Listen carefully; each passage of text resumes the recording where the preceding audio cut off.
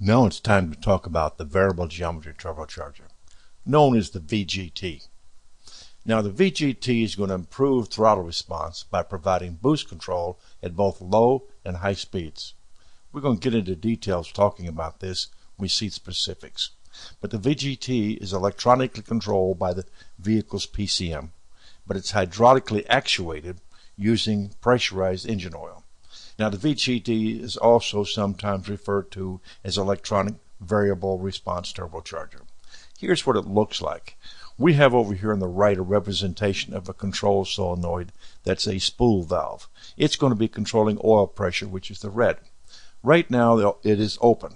We have all the air going in on the left side, getting as much air into the engine as possible, maximum boost. Here, we're at low speeds we've closed the, the vanes. When we close the vanes, we get less air and we unload the compressor side of the turbo. It allows the turbo to spool up faster with the available power coming out of the exhaust. By unloading it, we get a higher speed. And we don't need much boost at low speeds.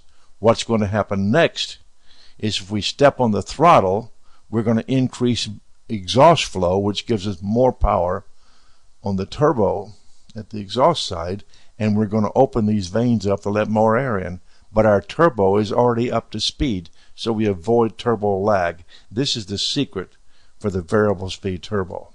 And we can talk about infinitely variable. We've got these two sides of our um, vane. We can go open one way, close the other, and we'll be activating it. When we activate it, we're actually moving this positioning plate which is moving in this slot, which is going to open and close the vanes. Here's exactly how we open and close the vanes. We have this movable plate with the position control. As the plate moves back and forth, it's going to change the opening of the vanes and move them open and close. Let's go look at those vanes and, and see what happens in scan data. Here we are sitting with the engine off. We are right now at 0% duty cycle. 0% duty cycles means the vanes are wide open. That would be the position for maximum boost. If we were running and we wanted to close them, we'd be 100%, that'd be fully closed, would have minimum boost. But let's go back and look up there at the data again.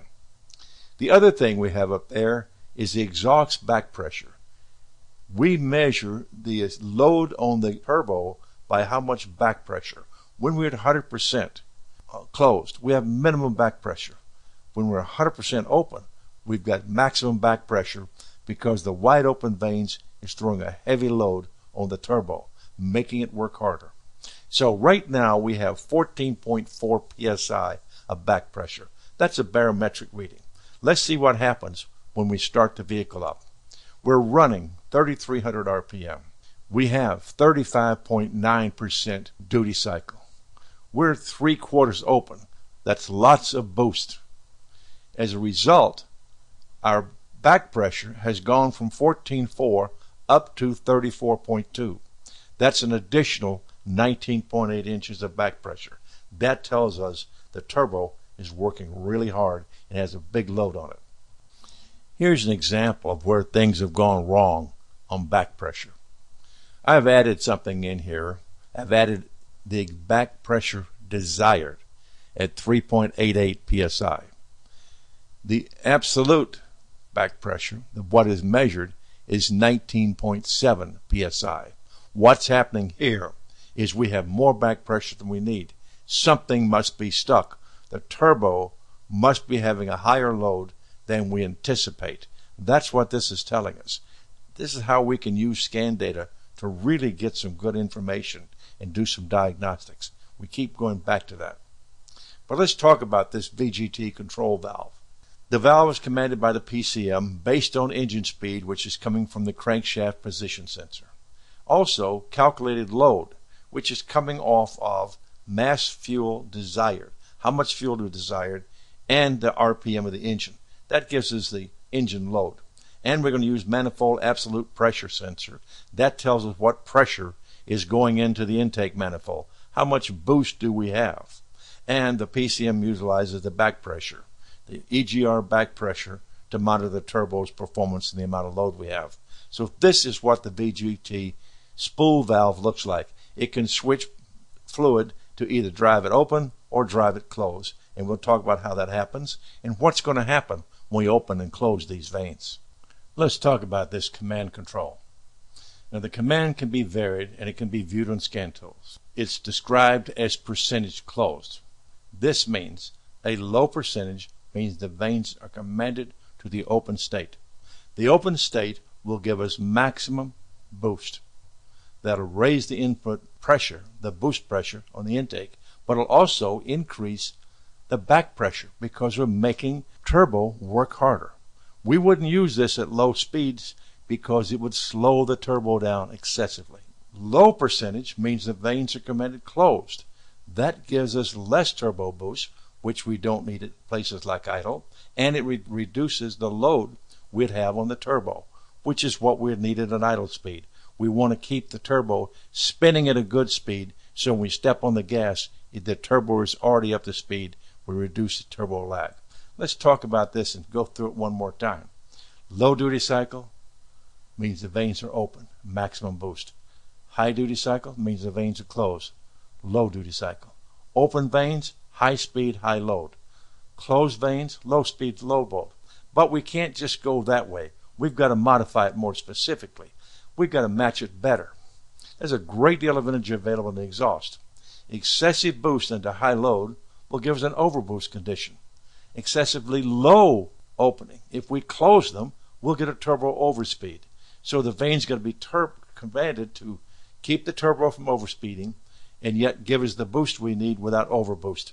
That's why it's so important these vanes don't stick, and we'll talk more about that. In between loads with varying uh, vane operation. We have this operation with moderate speeds. They're commanded to partially open to maintain the right position to give us the right amount of boost and give us optimal combustion, as well as providing the necessary back pressure for EGR. We, to get EGR to work, we're going to have to have back pressure. That back pressure comes from vane position and the turbo. So that's some of the stuff to keep in mind. And here's what we're looking at. The vanes are fully open at the top on the left. They're fully closed on the right.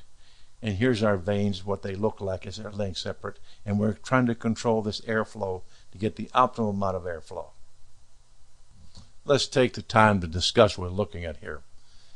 Here's our compressor on the upper left. You can see it's starting to accumulate a little bit of carbon and dirt buildup. That might need to be corrected. Those are our vanes are going to open. The vanes are there in the middle. The control plate's over on the right that we're going to move to open and close that. Down at the bottom left is our mounting, and then here is our turbine.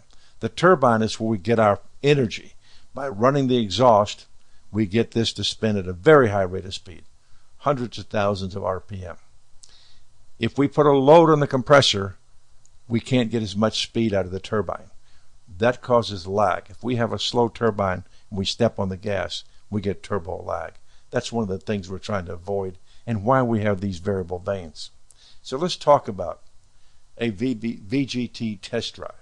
If we see the vanes going somewhere outside of the 15 to 85% range for more than a few seconds, the vanes might be sticking. Going to 15, going to 15 says you're trying to open them wide to get more boost going to 85 says you're trying to close them. When we get inside those two boundaries, we're going to the extremes. Something must be sticking. Watch the back pressure.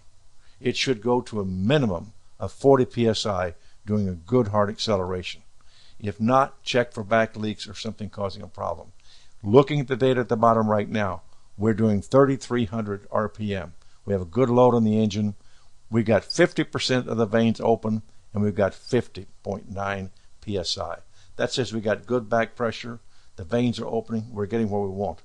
If those, if that percentage moves around very much during steady throttle, that 49.9, you probably have sticking or stuck vanes. We'll talk more about diagnostics on this next.